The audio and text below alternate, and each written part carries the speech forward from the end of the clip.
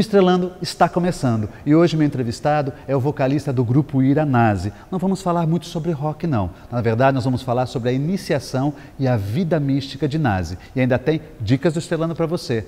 Não saiam daí.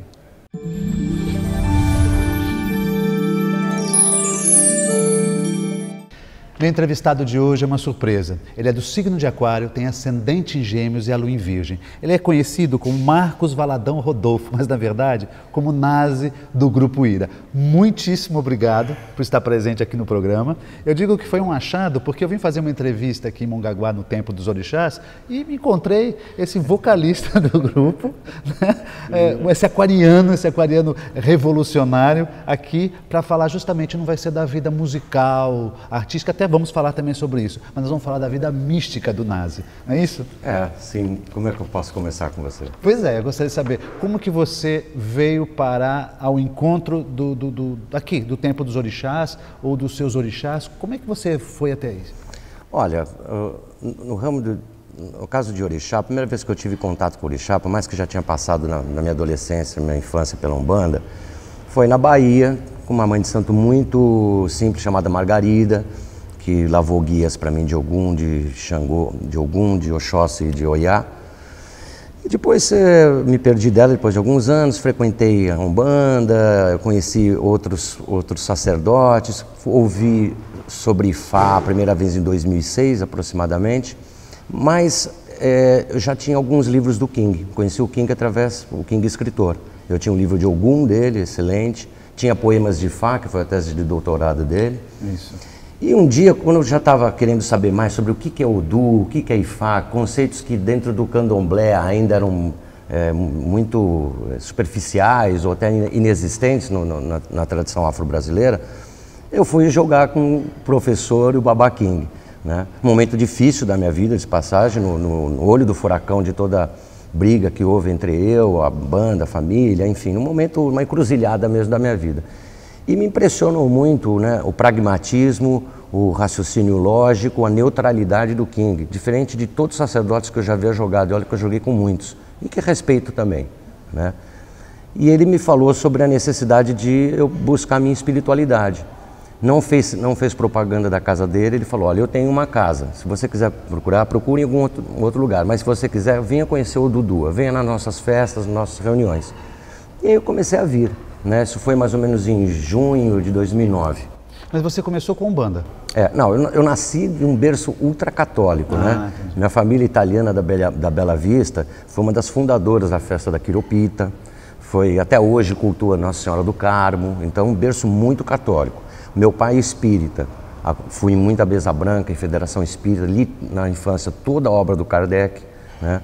Frequentei também a Umbanda, frequentei ainda na adolescência a Federação Umbandista. Minha mãe recebia preto velho, mesmo sem ser doutrinada, mesmo e você recebe em casa. alguma coisa, incorpora? Olha, como, como não, até hoje não, não, recebi, nunca bolei no santo, como se fala. Não. Fui até perguntar isso para o King, porque às vezes a gente tem até um complexo de inferioridade se não bola no santo, que né? que ele vira eu não... não. E ele explicou para mim que isso daí faz parte da minha, do meu EBE, da minha comunidade espiritual. Nossa, você, você, sabe bem, que o, você está bem inteirado. você sabe que o Verger não incorporava, né? Não, e antes de morrer ele declarou para o Gilberto Gil, falando assim, eu sempre quis me deixar ir, ele achava isso extremamente despoetizante, né? Escrevia tanto sobre, mas não sabia a prática, como funcionava. Mas o Verger falou uma coisa que eu acho interessante, ele fala, não existe incorporação, existe ele não usou esse termo, vou inventar excorporação. Na verdade, não é algo que de fora que vem para você, é algo de dentro, é sua ancestralidade que aflora de repente no toque do tambor e na música.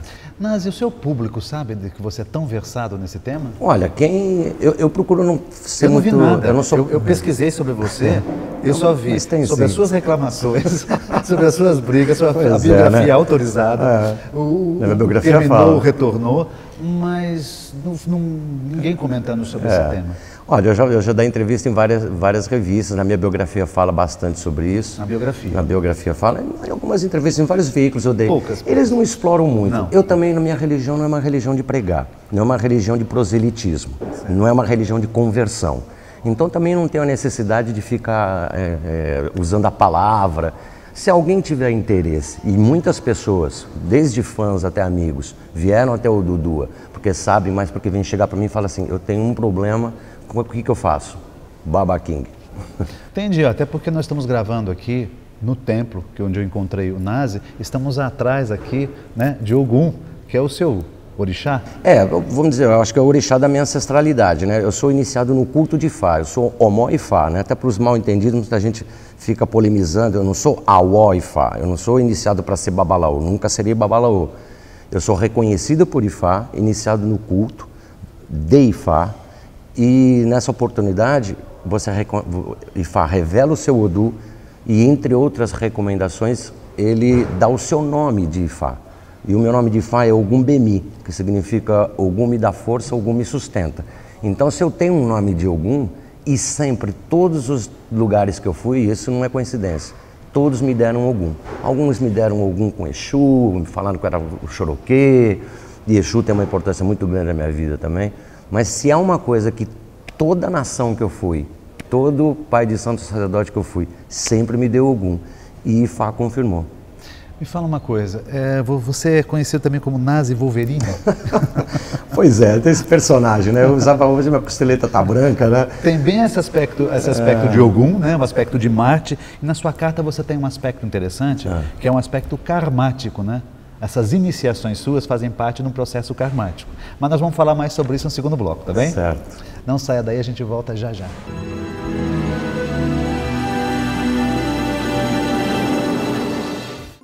O Espaço Sicom, novo ambiente em Santos para eventos, promove mensalmente cursos e palestras. O objetivo é informar e capacitar síndicos, condôminos e administradores nas áreas civil e trabalhista, incluindo o curso de síndico profissional.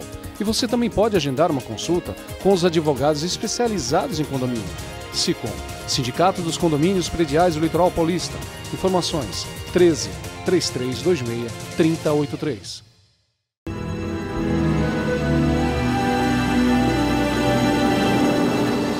Voltamos ao segundo bloco. Meu entrevistado é Nazi, do grupo Ira, vocalista. Hoje também quase que um sacerdote, não, não é? sou, eu sou um iaô, sou um iniciado. É mesmo? Imagina, não, não, Mas não tem pretensões futuras? Olha, o, futuro, olha, eu nem imaginava ser cantor, né? Eu era para ser professor de história ou veterinário. Pode falar com o ascendente né? em gêmeos, porque é. você fala, não tem problema. E a, a música acabou me tomando, né?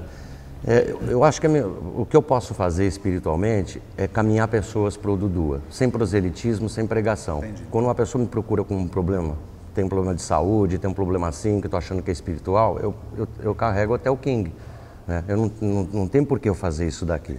Eu sei, tenho curso de, de jogo de Fá, de, de Meridi Logum, em Fá. Né?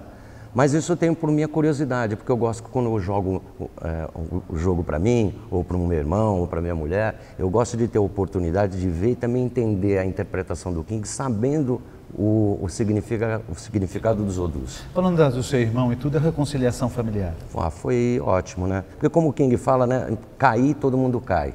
Quero ver levantar, o importante é levantar. E brigas existem, mas o mais importante na vida é a reconciliação.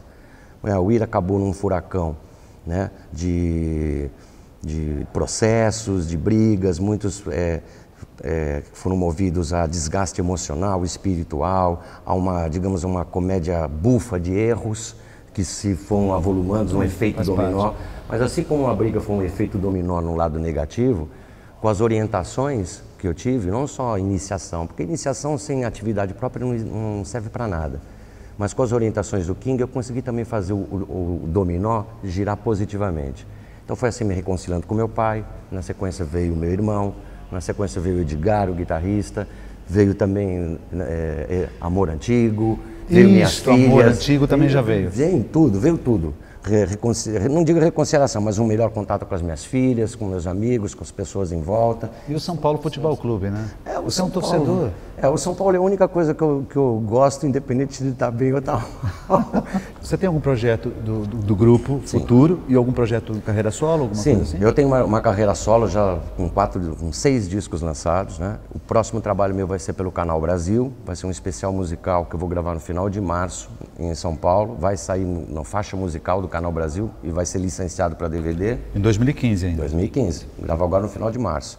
E o Ira também, na sequência, se prepara para um novo trabalho que a gente está pensando qual vai ser o formato dele. Vai ser um DVD, mas que deve sair até o final desse 2015. Então é um ano que, apesar de ser o ano da crise, etc e tal, eu estou chutando de, de bico. Tem que acreditar, você está claro. com Júpiter bem na carta. E é bom isso? É bom, bom. Júpiter vai se assemelhar mais ou menos ao Orixá Xangô. Ah, tá bem? O Orixá da Vitória. isso aí, isso aí. Deixa eu te falar uma questão. Como é que você vê o rock na atualidade? É, o rock hoje vive um refluxo muito grande, né? Bom ou mal? Mal. Mal. Mas assim, quem é roqueiro, é, também depois de duas grandes gerações, que foi a, a, a, que eu iniciei em 80 e a de 90 também, vieram outros gênios que, que, tomaram conta da música brasileira. Eu não vou aí fazer também crítica nem nada, eu deixo o gosto musical das pessoas de lado. Mas acho que quem é roqueiro sempre vai ser roqueiro. Meus shows estão sempre lotados de mil, mil quinhentos, duas mil, cinco mil pessoas. E quem frequenta mais os seus shows? São as pessoas das antigas ou... Muito ou... jovem também. Tem pessoas da minha idade, mas quem se engana, quem acha que no show do Ira vai só o pessoal que cresceu nos anos 80. Não, vai muita garotada, 50% garotada. Porque eu acho que o rock sempre vai ser sinônimo, digamos, da rebeldia natural da juventude. Sim. Né? Sim. E quem é roqueiro, é, e hoje com a internet ajudou um pouco, porque hoje a garotada não precisa mais depender da MTV ou de canal de televisão. Ela liga na internet e ela vai ver quem é o Led é Zeppelin, é vai ver quem é o The Clash, vai ver quem é o Ira. Você já foi partidário do um, um cantinho violão? Como assim, de bossa nova? Isso. Eu gosto muito, olha, você sabe que na, na, minha, na minha casa, o roqueiro só escuta rock, não, por exemplo? Eu não, não escuto rock nas férias, muito pouco em casa. Eu escuto muito blues, né? eu sou apaixonado por blues, meu trabalho solo é, tem muitas tinturas de blues. Eu gosto muito de música africana em geral, do afrobeat do Fela Kuti, né? de músicas também do Mali. Eu gosto de, de músicas folclóricas, de música grega, é, italiana. Né? Eu, eu, rock é a minha profissão. É claro que quando eu estou trabalhando na confecção de um disco, eu estou escutando referências roqueiras aqui ou lá para buscar. Hoje, para você, quem que seria uma referência uh, do rock? É, você diz nova ou antiga? Antiga e uma nova. Eu acho que o Erasmo Carlos ele continua como uma referência, porque Olha. ele está aí com 70 anos fazendo rock, boa música, bons discos. Né? A Rita Lee eu acho que, para mim, eu acho que tem uma, nós temos uma santíssima trindade, uma ainda está viva no, no, rock brasileiro, que é Erasmo, Rita Lee e Raul Seixas. Eu sou fã dos três. O Raul Sim. não está vivo, é. né? Mas hoje em dia tem uma garotada assim. Eu não estou tão por dentro porque não estou saindo na noite. Hoje eu sou uma, um cara mais caseiro, saio para os eventos do, do, meu espetáculo. Aquela né? ideia que o roqueiro é meio louco, tem que fazer e tal, é, muda um pouco o tempo. Né? Que o roqueiro tem cara de bandido, é, né? É, é. Agora tem um pouco cara de bandido, né? Não mudou muito, não, mudou muito. É, é só cara agora. Não, brincadeira. Nazi, agradeço muitíssimo a tua participação aqui. Meu. Muito obrigado realmente por ter dado essa brecha para gente na tua agenda e ter te encontrado aqui foi Axé. muito especial para mim. Axé. Axé para você também. Vocês também. Você não saia daí, a gente volta já já.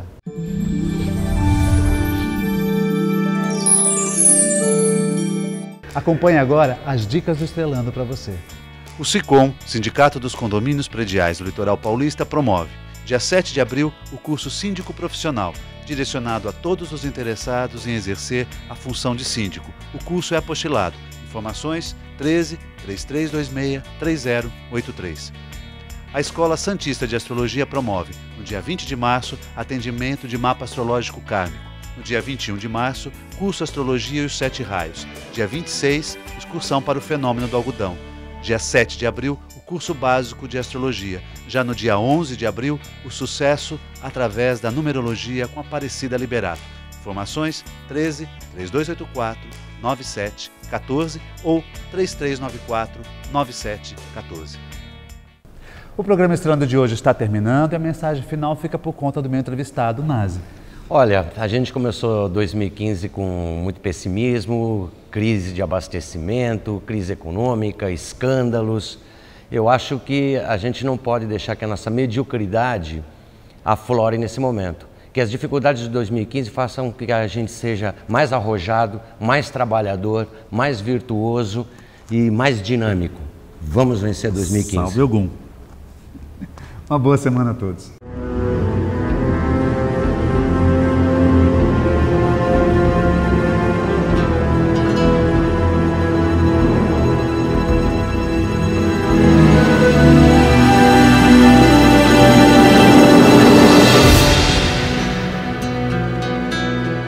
Com a mão amiga no momento certo. Avenida Conselheiro Neves 472, telefone 33263083, sicom.org.br